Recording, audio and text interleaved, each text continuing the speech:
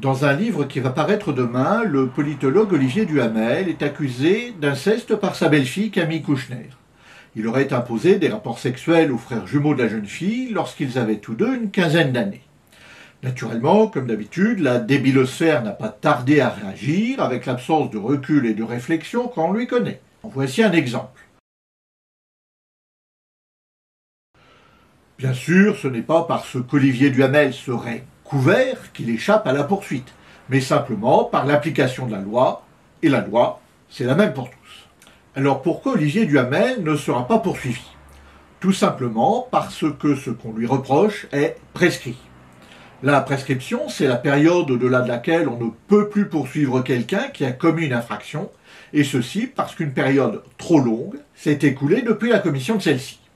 Ici non plus, ce n'est pas le bon vouloir du juge, heureusement d'ailleurs, c'est la loi, et en l'espèce, la loi, ce sont les articles 7, 8 et 9 du Code de procédure pénale. La prescription est aujourd'hui de 20 ans pour les crimes, 6 ans pour les délits et 1 an pour les contraventions. Ça, c'est le cas général. Mais il y a des exceptions, et une de ces exceptions nous intéresse particulièrement ici, puisqu'elle concerne les atteintes sexuelles graves sur mineurs. Lors de la commission des faits à la fin des années 80, la prescription était de 10 ans. C'est-à-dire qu'à la fin des années 90, les faits étaient déjà prescrits et ne pouvaient plus être poursuivis. Une première loi a porté la prescription des crimes de, de 10 à 20 ans, et plus récemment, la loi du 3 août 2018 a repoussé la prescription de ces infractions à 30 ans. De plus, elle a modifié le point de départ de cette prescription qui ne commence plus à courir lors de la commission des faits, mais seulement lorsque la victime devient majeure. Ceci a été intégré dans l'article 7 du Code de procédure pénale dans son alinéa 2. Attention, la loi pénale n'est pas rétroactive. Ça veut dire qu'une loi pénale plus dure, et c'est le cas en l'espèce, ne s'applique que pour l'avenir. Elle n'a pas d'effet rétroactif. En d'autres termes, la période qui doit s'écouler avant que les faits ne soient prescrits est celle qui était applicable au moment des faits, à savoir 10 ans.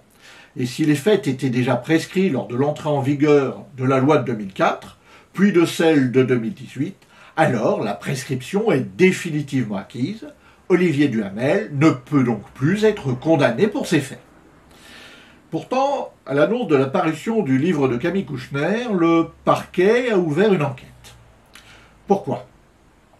Eh bien, il s'agit d'une procédure tout à fait normale, puisqu'il s'agit de vérifier que les faits en question sont effectivement prescrits et qu'il n'y a pas d'autres faits plus récents, non prescrits, qui auraient également été commis par Olivier Duhamel et qui, eux, pourraient être poursuivis. L'avenir dira ce qu'il en est. J'aurais voulu également aborder un second sujet dans cette vidéo. Qu'est-ce que, juridiquement, Olivier Duhamel pourrait faire vis-à-vis -vis de la sortie du livre de sa belle-fille? Bon, Visiblement, il a décidé de faire profil bas, il a d'ailleurs démissionné de toutes ses fonctions. Donc ce que je pourrais vous dire sur le sujet est théorique, mais dites-moi quand même en commentaire si cela vous intéresserait que je vous explique ce qu'il pourrait essayer de faire pour empêcher la sortie de ce livre, soit éventuellement pour tenter de faire condamner sa belle-fille, notamment pour euh, diffamation par exemple. Alors l'impossibilité de poursuivre ce monsieur parce que ce qu'il a fait est aujourd'hui prescrit est évidemment tout à fait choquante d'un point de vue moral. D'ailleurs, la prescription pénale est globalement très mal perçue par l'opinion publique.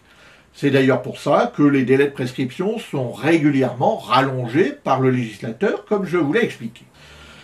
Voici, alors abonnez-vous si ce n'est pas déjà fait pour ne rater aucune vidéo. Lâchez un pouce bleu si vous voulez et n'oubliez pas que vous avez le droit.